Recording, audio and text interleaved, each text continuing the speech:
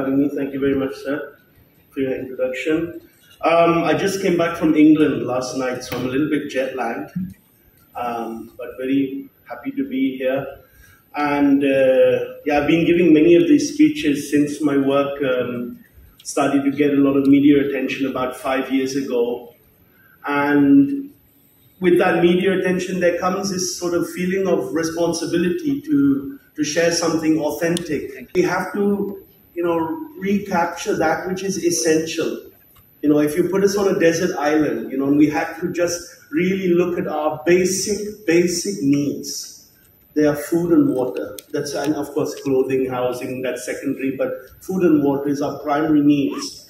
Now, this conference is about climate change, if I if I understand correctly, and um, you know it's a very important and pressing uh, subject in the world today because I mean I've been talking about that in my in my uh, in my work since the uh, last 15 years. Um, and it seems to be that it's really, really hitting us now. You know, I mean, it's been hitting us already, but people have been sleeping, still sleeping, still not willing to, to accept that the, you know that the world is one organism, as James Lovelock had pointed out. He created that Gaia hypothesis. So there's one world, and it's like a it's like a spider's web. You touch one thread, it'll be affected here. You touch here, it'll be affected here. So we are with the vast industrialization that we uh, that we uh, value so much on this planet because we're all running after I said labum. we want money, but at the end of the day, when there's no water left, when the earth is polluted, when the ice caps have melted, where there's flooding in England now, can you imagine England? There is drought. You know, there's drought where they're saying that even if there's severe rain this season, it will not replenish the, the, the um, you know, the water table. As, as, a, as a kid, I up, you know, I grew up going, walking to school, rain, rain, rain, always raining. Now there's drought. You can't, you can't ignore that. So, you know, what's the, what's the solution to this? Is it funding? Is it governments meeting up in their private jets in Switzerland and discussing climate change and all that? Is it some, what, what is the essential thing? You know, if it's down to you and me as individuals, surely we have to look at what is the most, you know, essential need, which is water and food. And if we look at industrialized agriculture, that is probably one of the main contributing factors to climate change especially just coming back from England, everything packaged, every single thing in a plastic bag, everything, you know, coming. People have no idea where the food comes from. On the plate is pasta, where it came from, no idea. Where did the wheat come from to make the pasta? No idea. It's the same in, in India as well. We don't know where the wheat comes from. We have rice, idli for breakfast. And the, and the nelle, where it's grown, we have no idea. Where's the ulundu grown? We don't know. Actually, if you go in the market and you ask to that karigara in the bazaar in Pondi, you ask him, where did this ulundu grow? He'll tell you Burma. If you fancy to have popcorn, you go and ask that karigara in the bazaar, where did the, the corn and makachalam grow? He'll say Argentina. that much far. Now imagine that we're in charge of bringing, we got the business to sell the makachalam, the corn, to make the popcorn. So what's the first thing? We need an aeroplane to bring it from Argentina. Now imagine we build an aeroplane you know, there's factories for the metal, factories for the plastic, for the electronics, you know, for the rubber, for the tires, for the paint, for all of that. And then the infrastructure and the petrol, the diesel, all of that, uh, oil tankers, refineries. We're talking of hundreds of kilometers of factories to build an aeroplane, and then we sit here and have our popcorn and we'll discuss climate change or yoga or whatever it is that we want to talk about. But that act of eating food that does not grow locally, that's our main contributing factor. Let's forget popcorn. It's a bit of a side thing. Let's talk about something basic. Everyone has potatoes.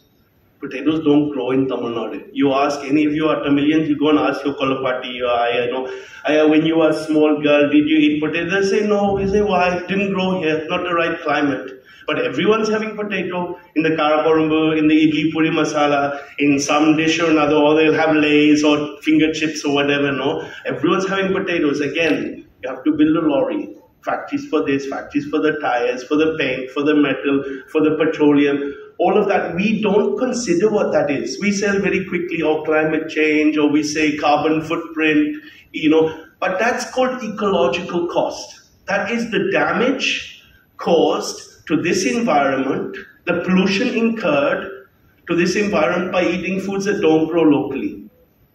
You know, that's a very practical thing. So if we are concerned of climate change, it's us first, let's stop eating foods that don't grow locally. So what does that mean? That means to go back into a culture. So we look at the Tamil culture, the language is 40,000 years old. We have the incredible things like the Bharatnatyam or the Carnatic music and the, you know, the temples that are so many thousands of years old and, and you know, people don't know how to build those things, those, those uh, you know, structures anymore. You have esoteric texts like the Nadi Jatagam and all this spirituality. This culture is like a banyan tree. It's extraordinary culture. How did that culture grow? People knew where their food came from. It's as simple as that. And the potato wasn't on that list in Tamil Nadu.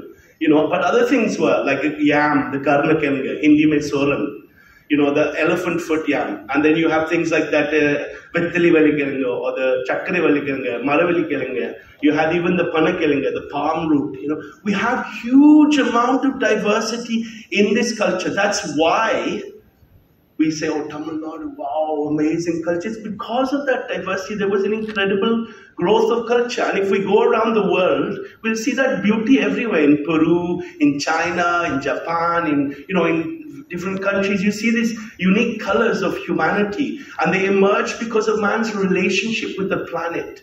And I think if we're going to talk about climate change, it's our relationship personally with the planet that we have to consider. So that means what do we eat and where does that food come from? And what's our relationship to that? It doesn't mean shouldn't people shouldn't be doctors and shouldn't be professors and engineers. Those are all equally valuable. Not everyone is to be farmer.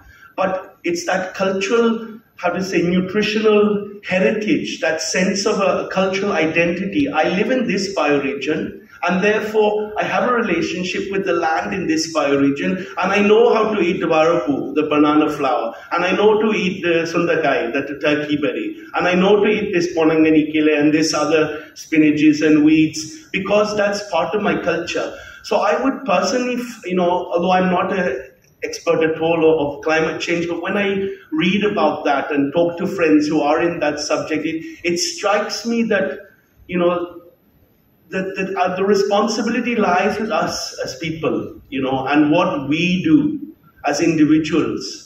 Um, which is of course challenging. You know, it's also challenging for me. It's not like I'm sitting there having only eating ragi porridge. You know, but it's a it's a challenge to re-explore our cultural nutritional heritage within the bioregion that we live in and start to recognize that that's probably the more the biggest contributing factor uh, is industrialized agriculture. So then the subject comes about okay well how do you start to do this? Well you know if you're able to grow food great you start to do that Otherwise, you have to start to, you know, dig into the culture, ask the older, senior people, you know, well, because young people, they don't know anymore how to use, you know, these traditional foods. Not, not every young person, but many young people. Why? Because our education system is pushing people to be successfully economically rather than being successfully in their relationship with the, with the nature. So it seems to be that that value has to be rechanneled into an education system and not just churn out people to get you know certificates and you know top job in USA. You know that's pretty meaningless. Pretty meaningless if there's going to be no air to breathe and no, no water to drink and no food to eat. More importantly, would be that we restructure our values as as as a society and. Uh, you know, that, that means to dig into something that's already there. In Tamil Nadu, it's there. This cultural knowledge is still there. It's being lost quite quickly. If you go to England, it's very much lost.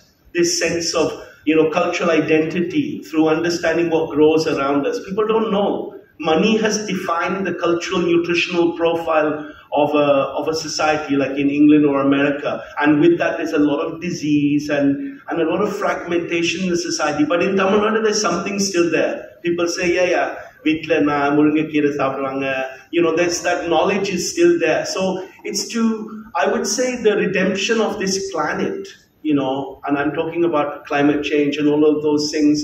Redemption of humanity lies in a cultural redemption, a reclamation of a cultural knowledge. So that means knowing what grows locally. And if we were in Bihar, it will be what grows locally in Bihar. If we were in, you know, in Punjab, it will be exploring what grows locally in Punjab and to recognize those foods and try and reintegrate those into our lives. That's on a very, very broad level. Of course, then there's all policy and all of that. That's not my department. I'm looking at the average person in the street. What can we do as individuals?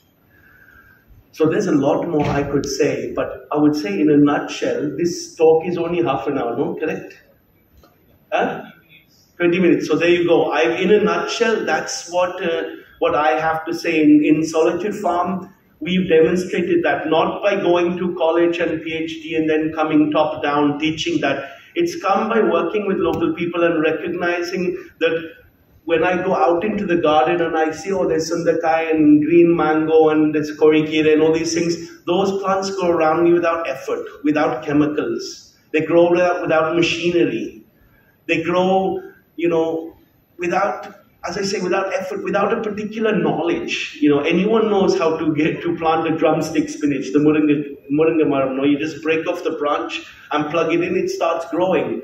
So if that food, according to UNESCO, and, and you know all the great agencies of our world, if that food is considered to be the best food, nutritionally speaking, in the world, why don't we find it in, in restaurants in the in the town? No, வீட்டில் தான் கண்டுபிடிச்சிக்க முடியும் you know people be eating it at the house in villages especially but the more successful you are the more C++ we are you know the more money we have the less you will see those foods appearing on our plate but there we will find you know the pasta that came from Italy and the pizza and all of this so again the thing is to re-question what is success what, are, what, are, what is the what is the values of our life because we have this life and without it, we're finished, and it's going in that direction.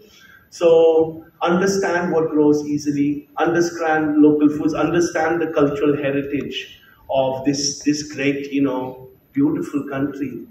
And uh, I think by understanding that, we can address such complex issues as climate change.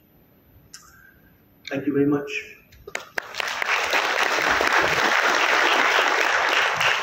I could start a little bit from my side until they would uh, raise their hands. I visited your farms uh, several times. Of course, maybe uh, just share the stage now. But your farm, I have seen, quite rich in organic matter. You know, uh, I'm sure others who had visited his farm uh, might have seen with you know, su such a lot of natural way of cultivating uh, several mixed cultures, right? And they use kind of built up the organic matter.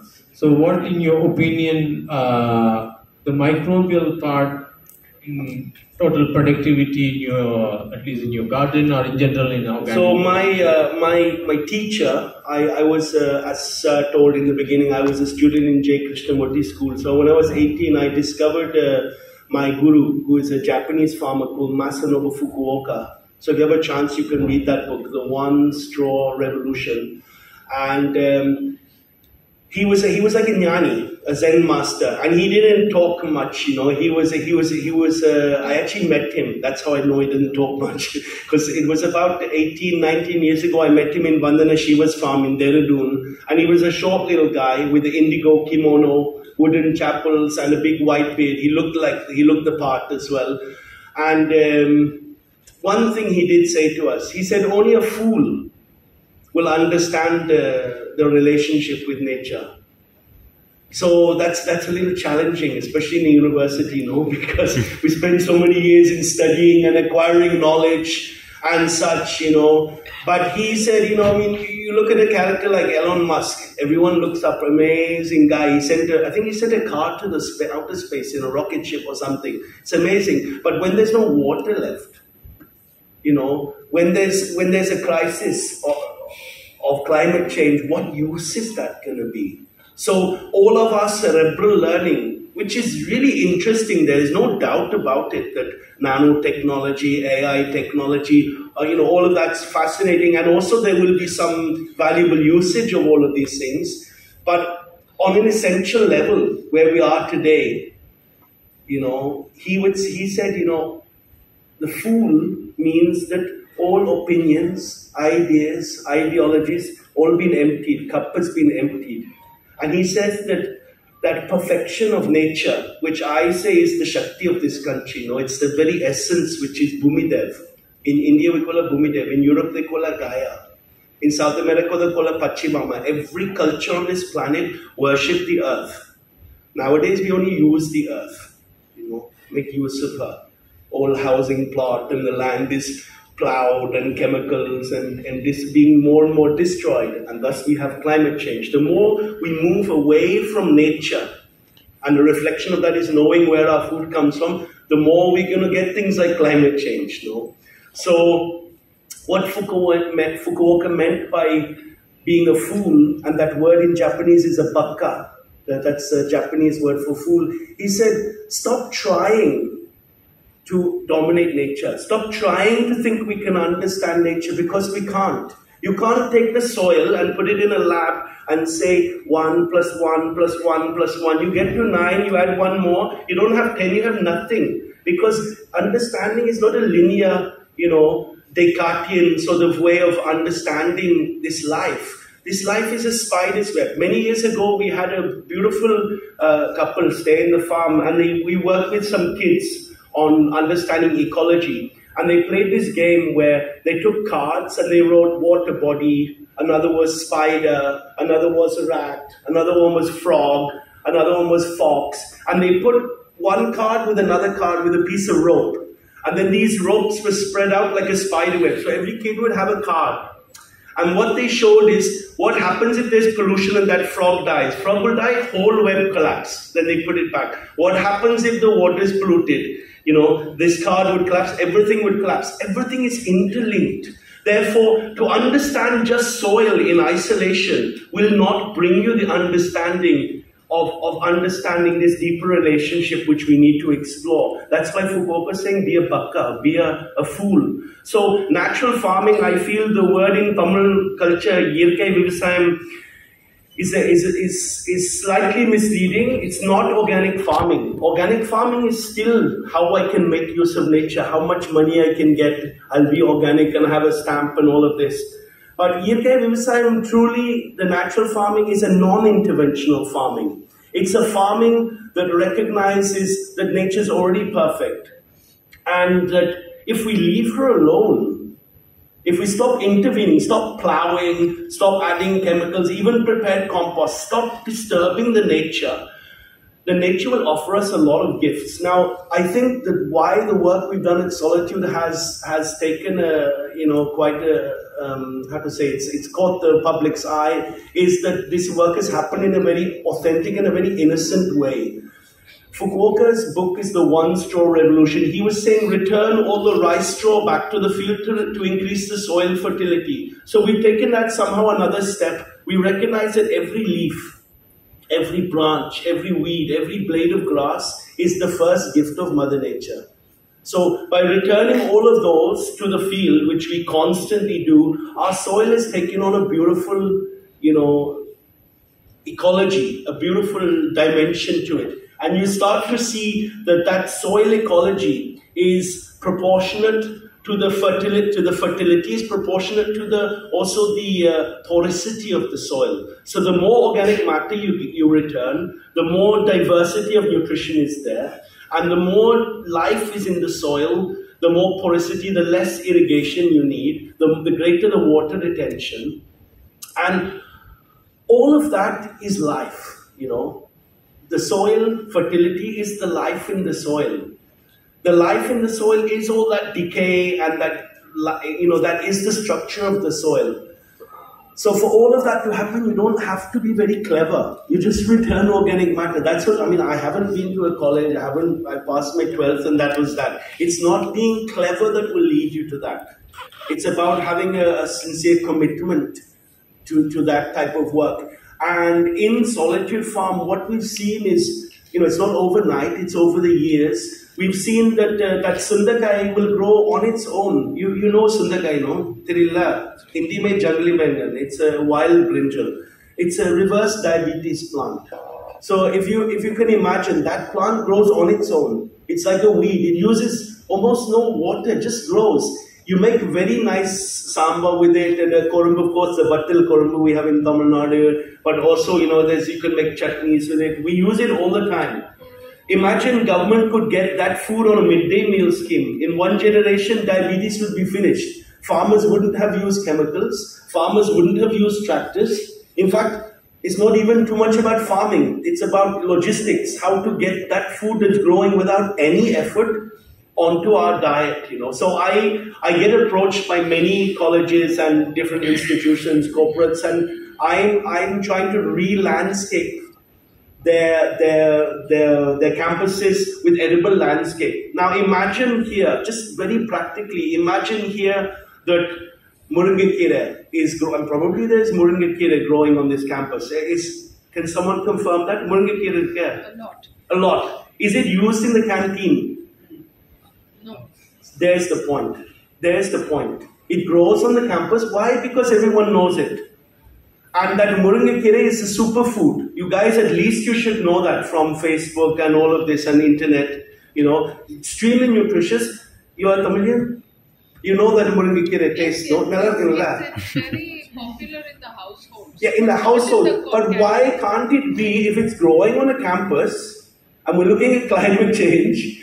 Why can't it be in the canteen? That's the point. And who will make that happen? Not the people in charge. It will be the students. Because you guys they're more have to. interested in food miles. We want to make everything uh, fancy. Yeah, so that's the thing, you know. So this is the subject. We don't even need a one hour speech.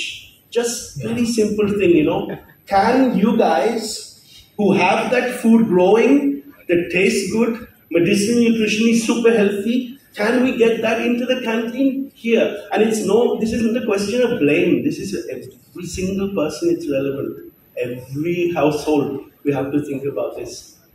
And again, a special thanks to Mr. Krishna Thank you so much. uh, for having this come Thank you, everybody. here. And we request you to wait uh, for two minutes. I think there is something from the organizers. Thank you, Mr. Krishnan McKenzie and Dr. Mathimaran Natarajan. Now I would like to invite Dr. Mathimaran Natarajan to give a memento to the speaker.